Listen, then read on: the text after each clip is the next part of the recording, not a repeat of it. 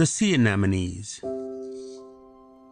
In the last century many of the animals of the ocean were considered plants, and the sea anemones, which appear to open and shut like flowers, were described and painted in verse and prose as the flowers in the gardens of the sea. The sea anemone